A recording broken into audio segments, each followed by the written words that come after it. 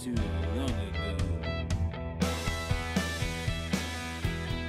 Hello, everyone. We're here. We're back with the Mack Brothers podcast, episode 643. I'm Matthew, and that's John. I'm John, and that's Matthew.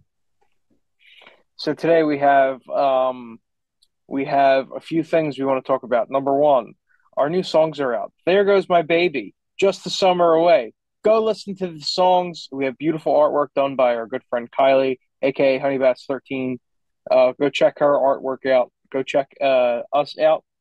And thank you for listening to the podcast. If you're a new listener, we like to talk about uh, uh, nothing here. We, we we don't we just bullshit, and then we sometimes we both fall asleep at the same time. Um, it's a it's usually usually a good time. The show should be called Snorefest.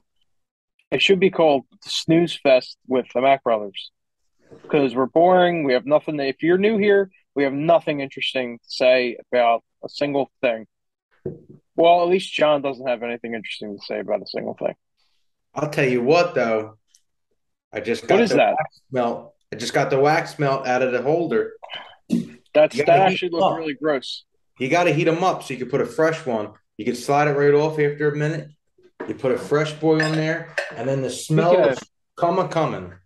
Speaking of fresh, speaking of fresh, speaking of wax melts, speaking of new music, John sent me um, John sent me this uh, this Willow Smith performance from the other Let night set it on, up.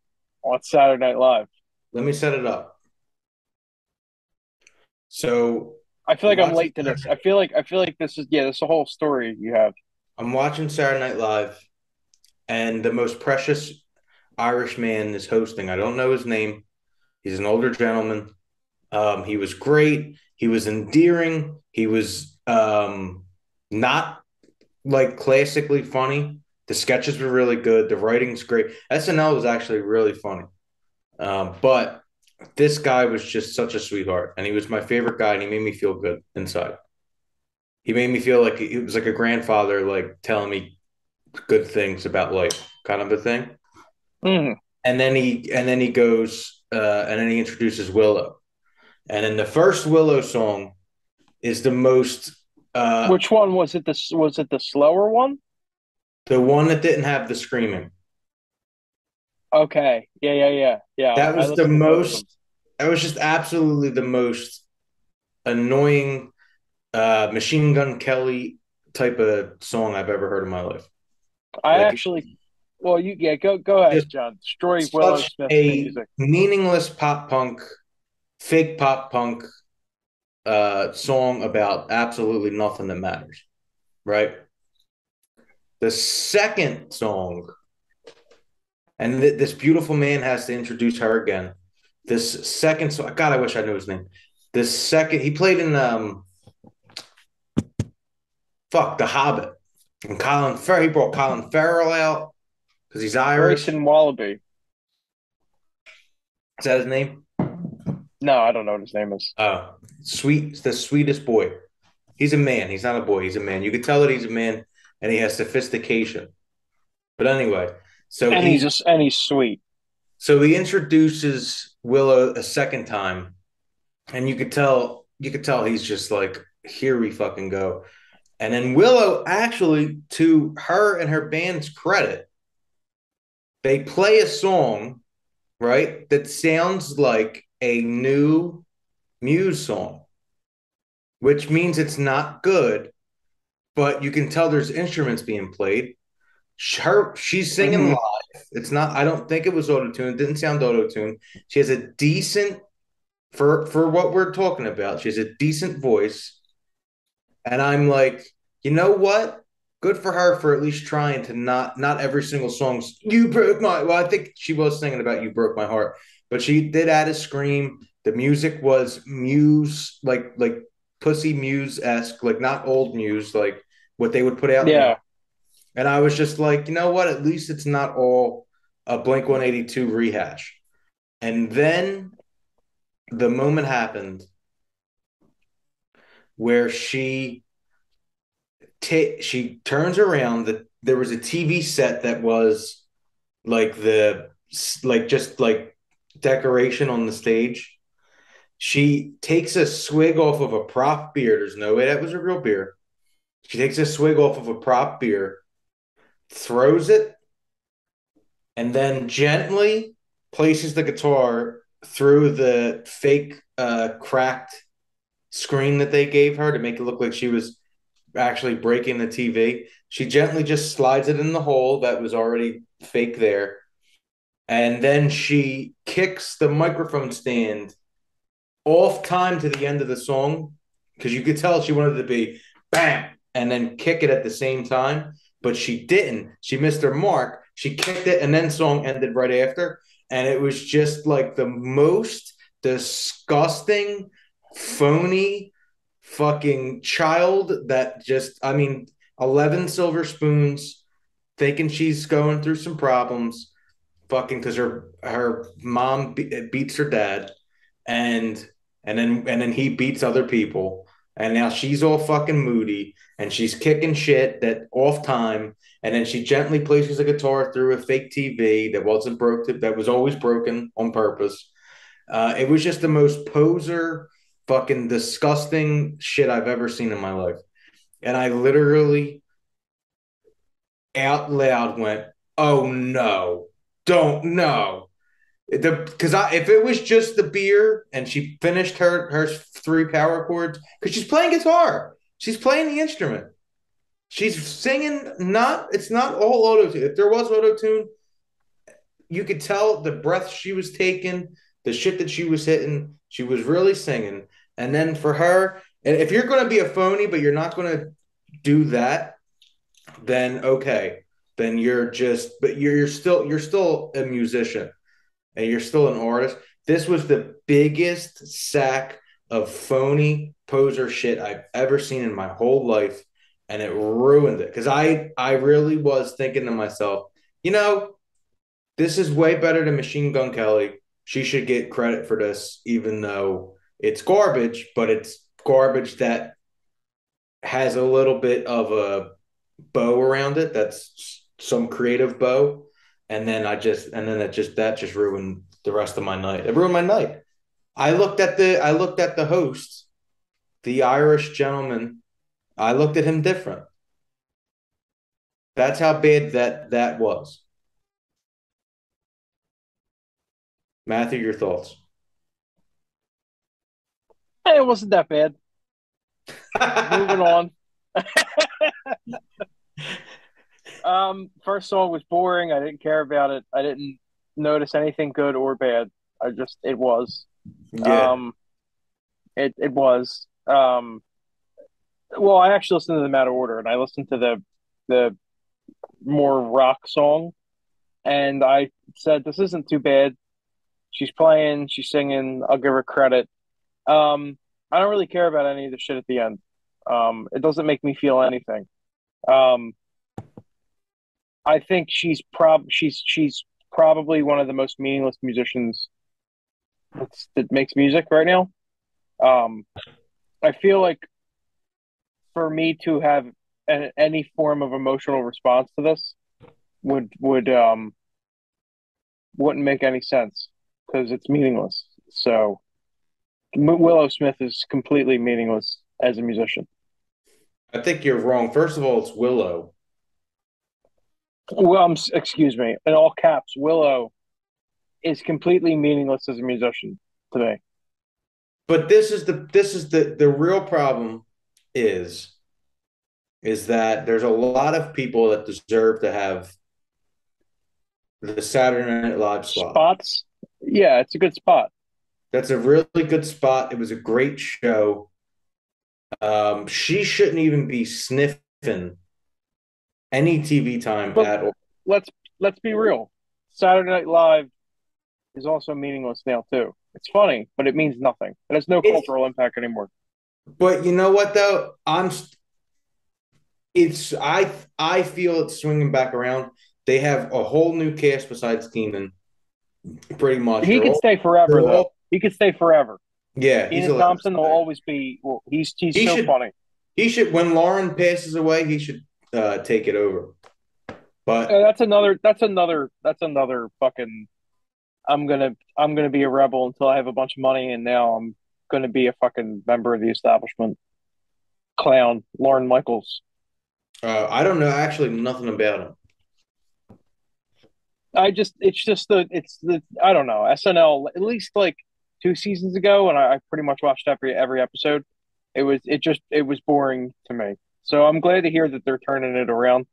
Um, because I was like, well, what's the point of having a show come on at eleven o'clock on Saturday night and have it be this big thing? And it used to be so edgy, and not have it be edgy anymore. Like have it be edgy. Like push some fucking boundaries. I I think TV anymore anyway. People watch YouTube more than TV anyway. Yeah, but I'm telling I I, I don't know if it's ever going to be relevant because of people don't watch TV. But I'm telling you, the quality has stepped up. Um, they, they don't just they they obviously bury Trump still a little bit, but they make like they make fun of both sides. Like they they made a couple Biden jokes that were hysterical. Like so, like they're and and all like I said, all the the, the writers That's are- good. they're all younger people now. I didn't like that they got rid of Shane. Was it Shane Gillis? Is he the comedian that they fired for saying? Yeah, yeah. up? They got rid of him for some stupid, but he's a fucking bullshit. he's an edgy comedian. That's what they do. They say stupid shit. Comedians are supposed to be edgy. That's their job. Yeah. Their job is they're they're supposed to make jokes about everything. Well, besides that, back to Willow Smith. Um, so I'm going to take the philosophical approach to Willow Smith.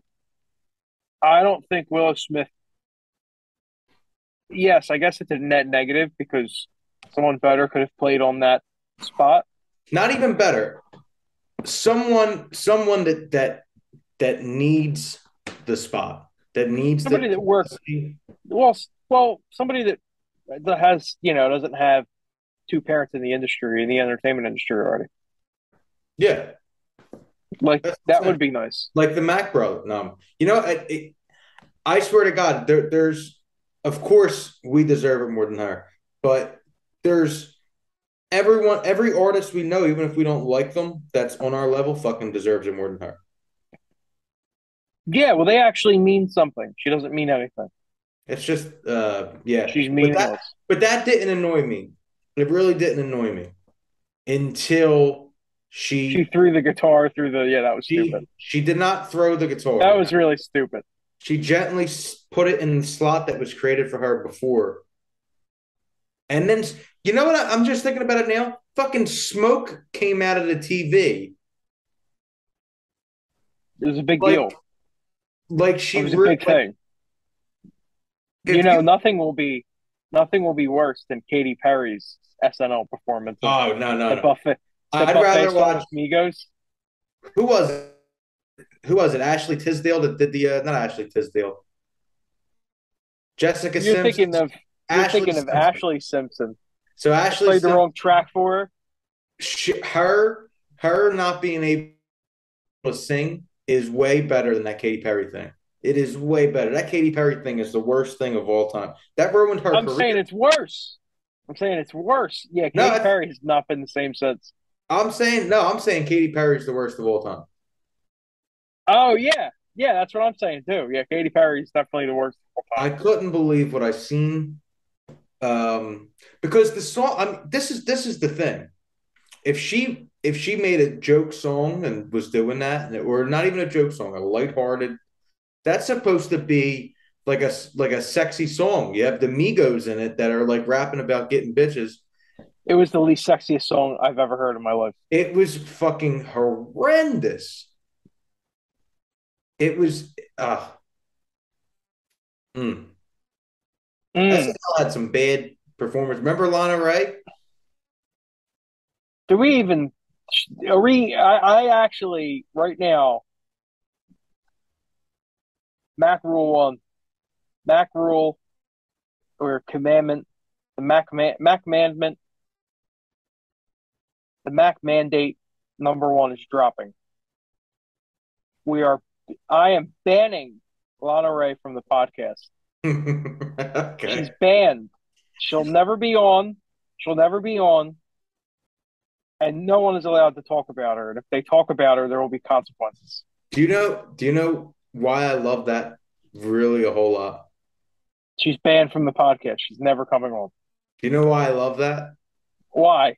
Because my favorite podcast, my not all sports, because that's fired up. Fired up um, is Your favorite Sixers podcast, right? favorite just Sixers podcast is Rights to Ricky Sanchez. You always have to say the name.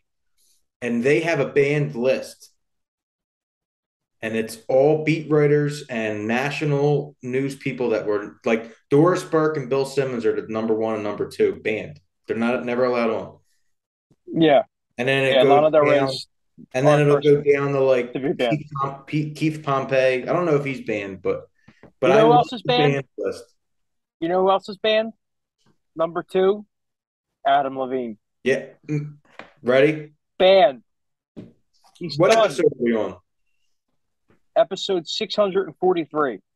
So when we get the episode, when we get the episode uh, in the past, if we took a time machine, right, Yes.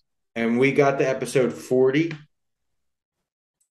episode forty is when we release the official 2022 banned list for the Mack Brothers podcast. hmm That's where we we drop we drop our first our our uh, honorary uh, band. They're banned from the Mack Brothers podcast.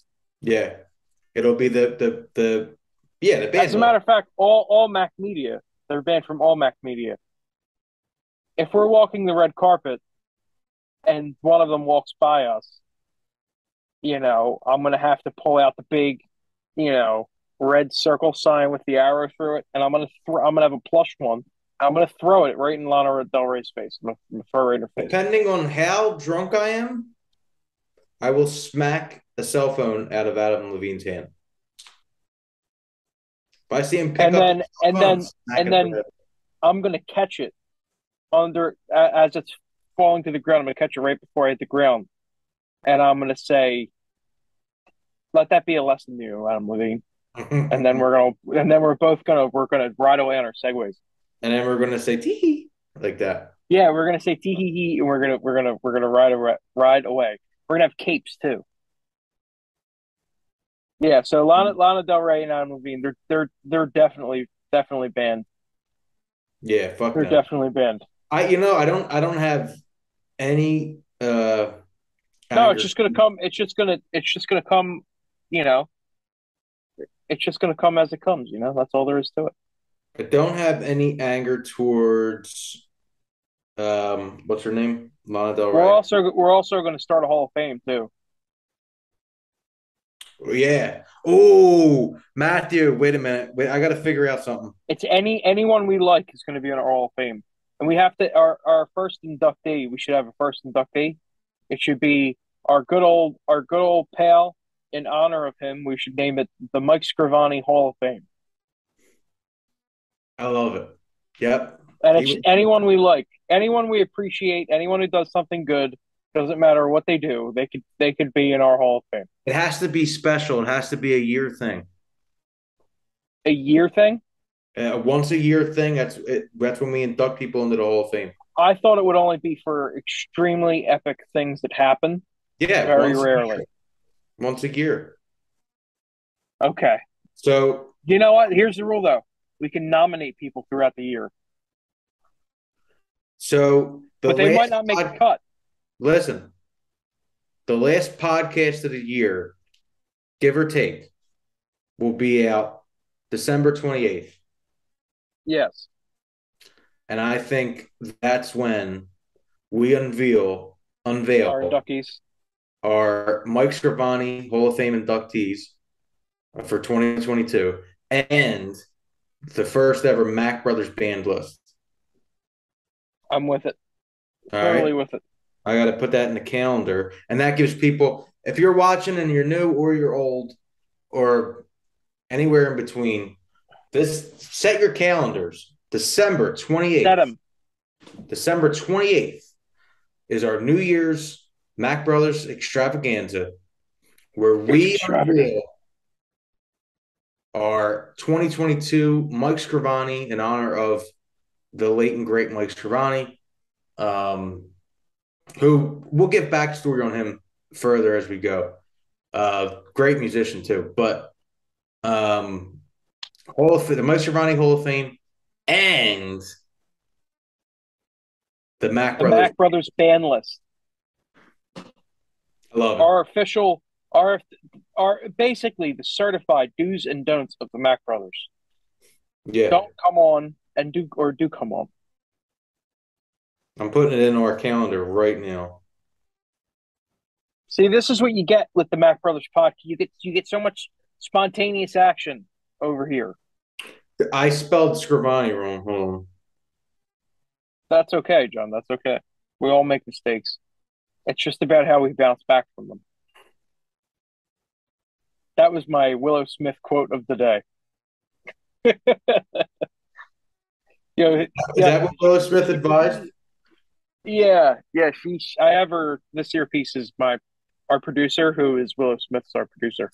Um, did you did you see um Kanye West's private school and what they do to the children? No. All right, so What could they be doing to the children? all right, so Kanye West has a has a private school called like Mhm. Donda Academy, right? He named it after his mom. Yeah. Now listen, now listen. His mother died in a tragic way, and I wouldn't wish anybody's mother to die that way. But at a certain point, when you know, I guess he's he's mentally ill and he needs help. But you're doing all this shit, and you're becoming such an ass, and you're saying all these all these hateful things against Jewish people and all these awful things, and you you now have this. So he started at Donda Academy.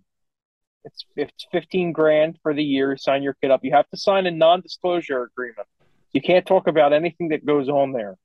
So uh, there's a video that came out, and the uniform is like it looks like all black outfits in his like fashion line. Like it looks like they're wearing all black Kanye West handpicked outfits for each of them. Like they looks crazy. So they they all start by singing a medley of the beginning of the song Donda or Donda Donda, right? So there's like say like 100 kids in a room and the the conductor person will point one way and the one side of kids will say Donda. They'll point the other way, the other side of kids say Donda.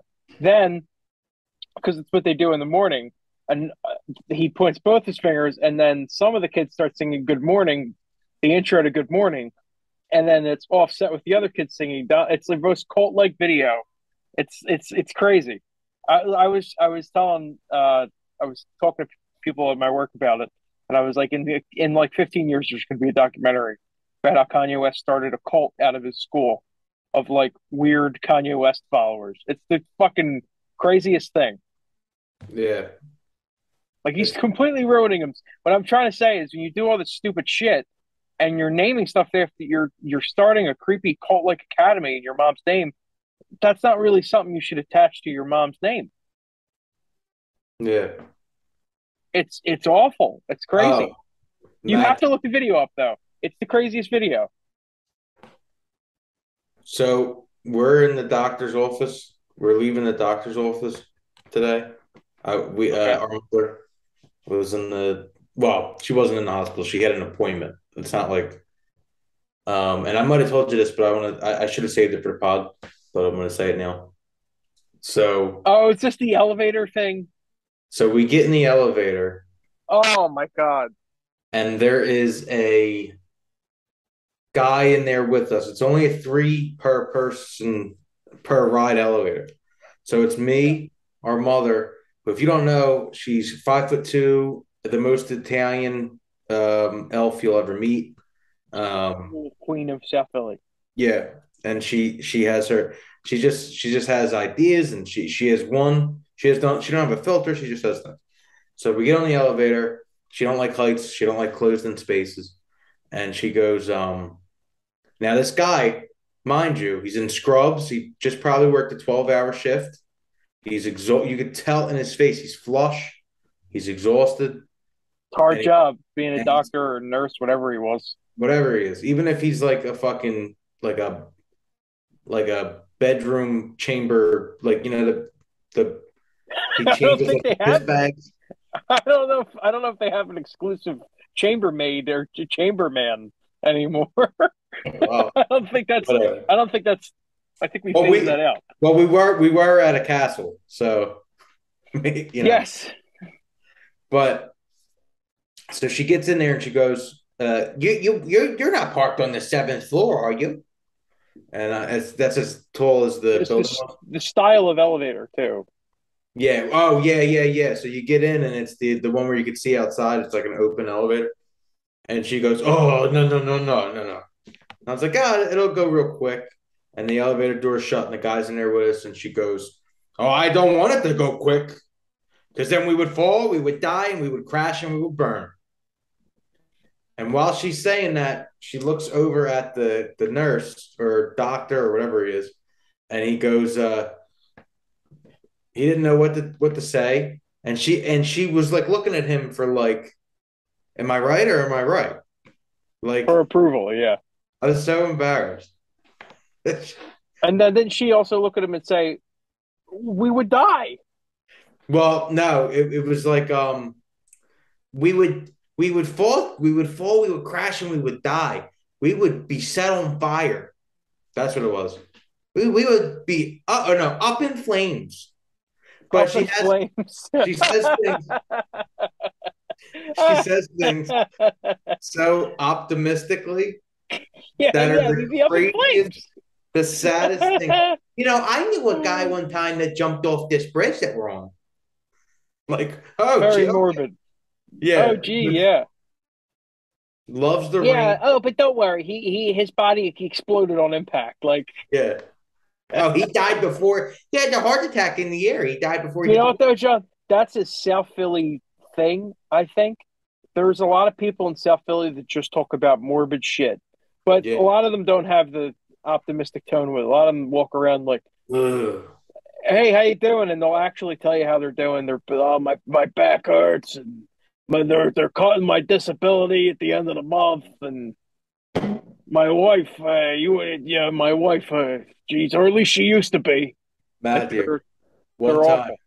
when I worked at the casino, I had to drive. Well, no, I've gotten the because I was a manager, so I had to go with the driver.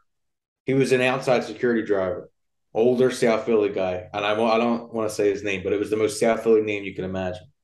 And he's driving us there, and it's live casino, so it's South Philly, and we had to go to Southwest to go to the Ford dealership Mhm. to get it, the car fixed.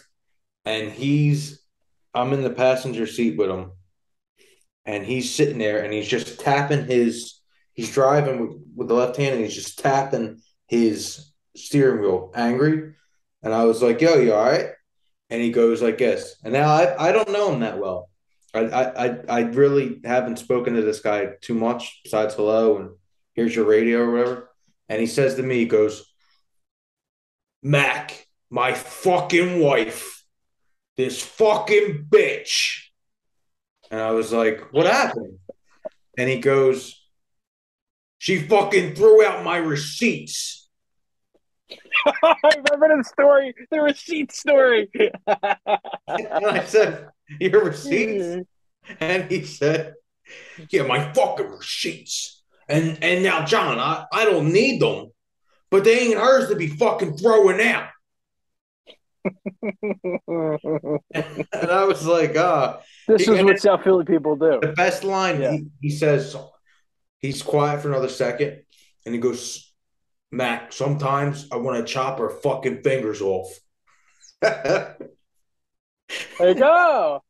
Okay. And I'm I'm driving another 15 minutes with this guy in quiet in silence after he tells me that. You know, though, that's the safest drive you'll ever have. Yeah. He would never think to do that to anybody else but his wife. my fucking wife threw out my My receipt. wife.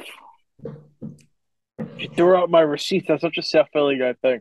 And he said too, like he admitted, I, I probably won't need them, but but I I wanted them because they're mine. Like that's something yeah, that there was probably like seven years of receipts that she she threw out like six years of them. yeah. Oh, Charlie, you only need the other the, the last year. You know, You don't tell me how many years I need. I bought is sport and paid for, and I want to know it.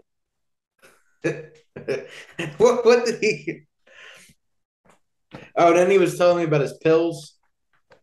He was like, um, Oh yeah, they all those guys. They they all take a million pills. They always got a thing. They got a hip thing or a knee thing, or it could be an elbow thing or a nose thing or an ear thing, or they have one specific thing. It's a it's but it's chronic. yeah. Mm. All of them, every single one of them. And if they don't have one, they'll make it up. I think I got this thing. I got this thing. One time, one time, Matthew, I'm having a severe panic attack. I think it's a heart attack, and I'm going to the, and I literally went to, or I was thinking about going to the emergency room. That's how bad it was. And I tell our our illustrious father, and he Yeah. goes, and he goes, uh, you know, I think I got a touch of that. Little touch of the panic. It's a see, it's a South Philly guy thing. it. And I'm the same way our, our our mother is like the queen of South Philly. He's like the king of South Philly. Yeah. Oh, he's the he's the king of of all of South Philly. Of uh, yeah, of all the goom of all the goombas. And then you know what's funny? He um the people that he like no, like I don't want to never mind. I was going to say something about uh never mind. It wasn't about him though, but I was gonna I was gonna say something about something. But some of the people say he knows, some of the people, the stories he tells me about some of the people that it, he just that are in his life, crazy. his- not by his choice, the people that are in his life, it's just crazy. But that I think that's just that. I, I think that's just anything. Sometimes I feel I feel like um like we live a very I, I feel like we're we're almost posh now. Yeah, Like uh, like like like you, you kind of get into a bubble and you only deal with who you deal with, and you don't realize still how crazy people are yeah. all the time until you experience it right in front of your face. One day I, I'll um, we don't have time right now, but I'll I, I for for the podcast I should tell a story about the guy me and Lippery and and Fonz met. Oh my god! Yeah, the yeah, yeah. and and then That might be a special. That might be a special guest uh, podcast. We might need to make that a thing. Remember we, we you know I think we're probably the best. We're not the best at marketing, but we're the best at coming up with names for shit.